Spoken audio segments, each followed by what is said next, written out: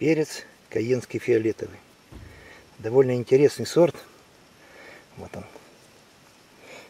Так созревает. Сначала он зеленый, потом становится черным, потом переходит как бы с черного, начинает, вот если развернуть его с этой стороны, краснеет. И становится вот такой вот зрелый. Очень интересный сорт. Срок созревания у него 90 дней. Высота куста может достигать от 60 до 70 сантиметров. Тоже довольно высокоурожайный сорт.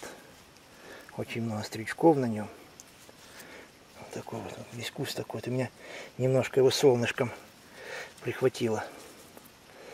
надо обязательно притенять. Они очень боятся солнца.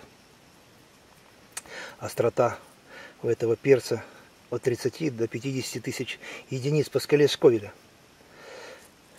Сорт можно выращивать как в открытом грунте, так можно выращивать и у себя на подоконнике, можно выращивать и в теплице. Очень, очень большие урожаи у него.